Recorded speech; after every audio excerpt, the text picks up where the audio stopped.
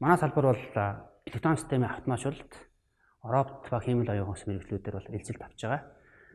За миний хувьд энэ салбарт микропроцессор, мэрэгжлийн удирдгал, робот системийн онол, робот үндэс гэсэн хичээлүүдийг бол ордог байгаа. За мэрэгжлийн удирдгал хичээлээр бол бид нар анх орж ирсэн 1-р курсын оюутнуудтай бол мэрэгжил дээр хэрхэн ажиллах вэ? Аа жишээл одоо робот технологиг хэрхэн хөгжүүлэх вэ гэсэн анхан шатны ойлголтуудыг бол өгдөг байгаа. За энд бол 10 жилээс мэрэгчлээ яг энэ чиглэлээр аа хаашд өөрсдийгөө хөгжүүлж мэрэгчлэн болох зорилготой хүмүүс бас орж ирдэг.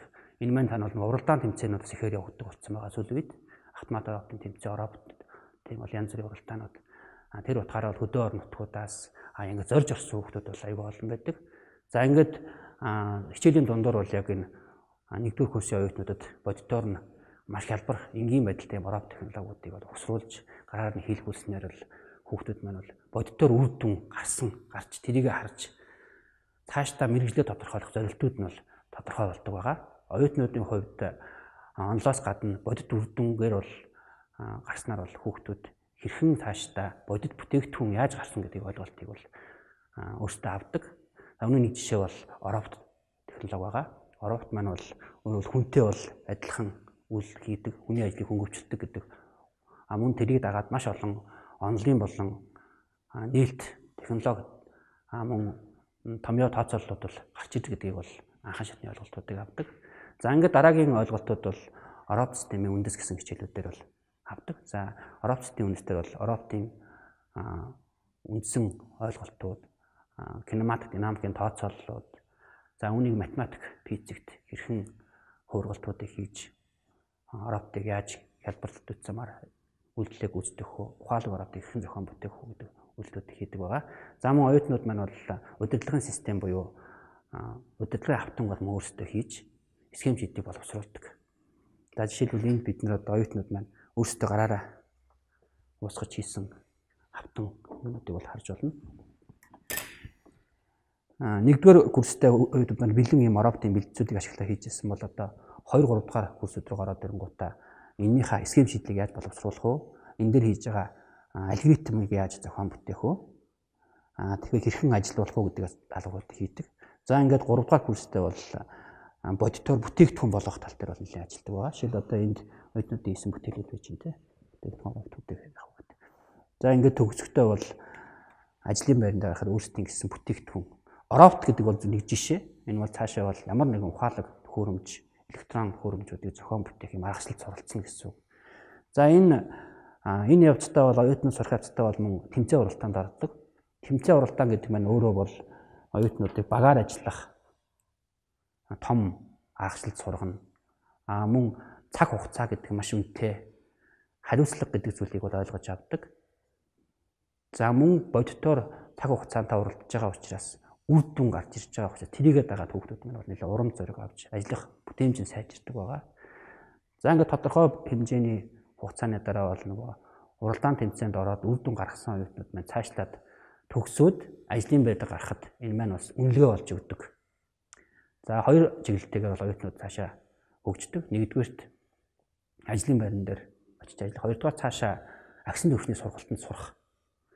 За мөн гадны компаниудад болон гадны гадаадын ихтэй сургуулиудад сурах боломжууд аягүй нээлттэй болдог. За бидний хувьд бол энэ төрлийн уралдаан тэмцээнд бол нэлийн оюутнууд оролцож жишээл одоо AB Europcon, Micromouse, Sumo Robot гээд за нэг төгссөн оюутнууд маань гараад бол гадагшаа сурах боломжууд аягүй нээлттэй болдог. Уралдаан тэмцээнд оролцсон нөгөө үзүүлэлтүүдээс хамаарат, амжилтуудаас хамаарат, мөн нөгөө судалгаа хийжсэн чиглэлүүдээс нь хамаарат бол гадагшаа магистр докторийн сургалтанд бол явах боломжууд аягүй нээлттэй болдог. Бакалавра төгсчөөд төгсчих хугацаанд магистрийнхаа хичээлүүдийг судлаад аа тэгээд цаашаа эгийн чиглэлээр холбоотой гадагшаа сурах тийм урилгууд бол ирдэг байгаа. За яг энэ манай Норопком буюу Ороб тэмцээнд оролцож байсан бол аюул олон оюутнууд бол гадагшаа сурч яг энэ чиглэлээр магистр докторийн зэрэг хамгаалсан байгаа. За мөн нэг давуу тал бидний одоо энэ багаар ажиллах давуу тал дээд курсын хүүхдүүд нь бол доод бага курсынхаа хүүхдүүдэд заадаг. Нэгэ төгсөөд явчихад өмнөх курсын хүүхдүүдийн юм бүтээл үлдчихдэг байгаа. Тэр утгаараа хуучин юмн дээр сэргээж өөртөө апдейт хийж явна хийж явна гэдэг маань өөрөө цаг хугацаа айгүй хэмнэдэг. Өөрөөр хэлбэл нэг бүтээлийг одоо 0-оос нь эхлээд хийхэд бол магадгүй 3 жил 4 жил зарцуулагддаг бол өмнөх хийцэн байсан агш нарыгаа хийсэн бүтээлийг хийснээрээ цаашаа хөгжүүлснээрээ бол цаг хугацаа хэмнэж байгаа. Хоёрдугаар сайжруулах боломжууд нэлээд болж байгаа. Энэ нь бол одоо энэ сурах мөн сурах ирмэлцэлтэй мэрэгжлэрээ цаашаа хөгжүүлэх зорилготой хүүхдүүдийн хувьд аюу том боломжууд байдаг. Ягаад гэвэл хуучин давтагдсан юмыг дахин хийхгүй өөрөө тэн дээр сайжруулах боломжууд бол нээлттэй болно гэсэн үг. За дахиад нэг юм нэмж хэлэхэд нөгөө манай энэ яг мэрэгжлийн онцлогч гэдэг юм уу те нуралдаан тэмцээнд орж байгаа нэг онцлог юу гэхээр нөгөө одоо жишээл жишээ болгоод солонгост бид нэр нэлийн ял олгоо оюутнуудыг явуулсан байхгүй. А одоо явуулсан оюутнууд нь буцаад төгсгөөсөө өмнө одоо яг энэ чиглэлээр сурсан дүүнэрээ бол айгүй хавт нөгөө профессорт нэг басна үнэлэгдсэн гэсэн үг тийм энд сурж исэн хүүхдүүдийн маань үнэлгээ тэнд очиод үнэлэгдэж байгаа учраас дараагийн халааг авах сонирхолтой байдаг. Тэр яг энэ шатлалаар явсан нэлээд олон оюутнууд байдаг.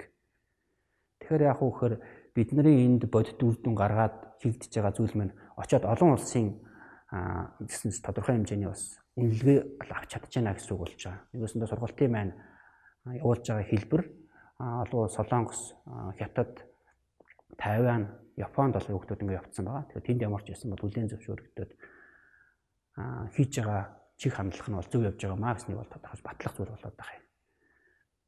За төгсгөлд нь хэлэхэд аж үйлдвэрийн дөрөвдүгээр хувьсгал мэдээллийн технологийн өнөөдрийн эрен үед техник технологиг хөгжүүлж байгаа оюутан залуустаа өндрөөс өндөр амжилт хүсье. Хүн хэрвээ хүсэх юм бол зорьсноо бол биелүүлж болдог. Тэгэхээр та бүхэн өнөөдөр сурж байгаа цаг хугацаа энэ сайхан эрен үед сурч байгаа өөртөө бахархаад маш их ирч хүчтэй шинийг санаачилж их зүйлийг бүтээгээрэй гэж хүсье.